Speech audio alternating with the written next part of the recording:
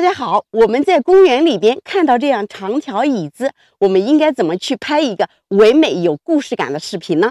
好，丫丫今天就用几组分镜来给大家来拍一个有故事感的一个画面。我们以椅子的背面为前景，好，拍一个人物从对面走过来的一个全景来进行开头。好，这个时候我们得借用一下自拍杆了，来打开它，放好位置。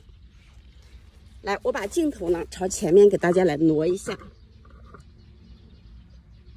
好，看啊，在这里面呢，我们采用的是一个斜线构图，给它稍微的仰拍一点点哈。对面呢，我们要留一点空白，人物要从这里走过来。好，开始哈，人物走。我们从大于三十度的角度的一个方位呢，再来拍一个人物走过来，坐在椅子上休息的一个镜头。好，这个时候呢，我们还是借用这个自拍杆哈，来采用一倍的一个主摄镜头。我把镜头呢给大家朝前放一点哈。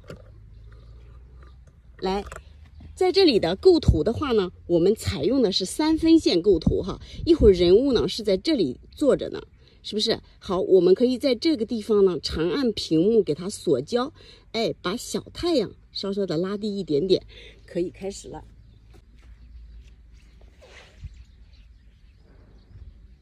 就是人物刚刚坐在那边，抬头这样沐浴阳光了？那么这个时候呢，我们可以在它的背面呢，再来拍它一个沐浴阳光的一个镜头哈。我们可以以这个树叶为前景哈，在这里采用一个一点五倍的一个长焦来进行拍摄。好，人物呢可以开始。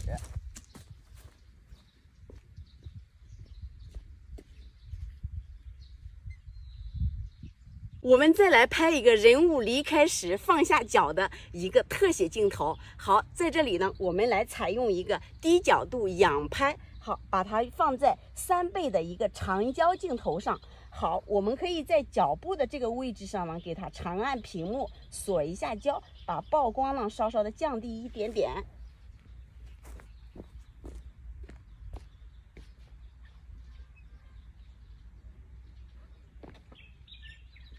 我们看见这个椅子呢，它的面特别的有张力。那么这个时候呢，我们可以以它为前景，拍一个人物起身离开回家的一个镜头来收尾。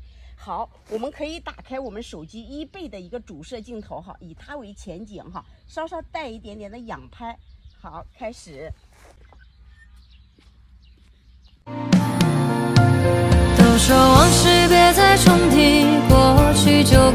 去，只是童颜容易老去。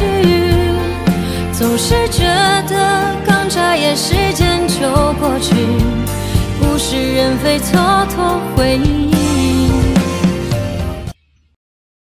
抖音。